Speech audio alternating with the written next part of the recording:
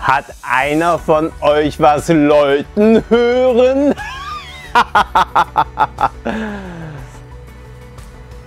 Kommt zum Jedermann in Belitz auf der Landesgartenschau ab dem 8.9.22.